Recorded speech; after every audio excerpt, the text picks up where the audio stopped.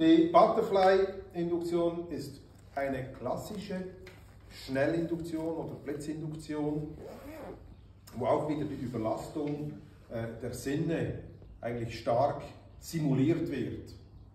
Hier dürft ihr jetzt im Gegensatz zur Arm-Pull-Induktion, Arm-Pull-Induktion ist ja so greifen, bei der Butterfly dürft ihr den normalen Handgriff machen. Ist auch wieder wichtig, dass hier locker ist. Einfach locker lassen, genau.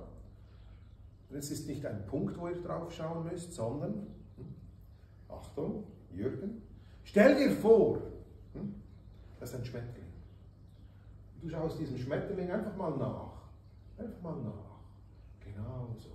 Hm, hier ist er, hier, schau den Schmetterling, hier, hier, genau. Schmetterling, jetzt drehe ich ein bisschen, dass ihr, dass ihr das seht. So, jetzt, dass du auch. Ja, der Schmetterling, hier, der Schmetterling, hier. So, ich kontrolliere hier, ob hier locker ist. Schlaf, schlaf, schlaf, tiefer, tiefer und tiefer. Eins, zwei, drei und wach.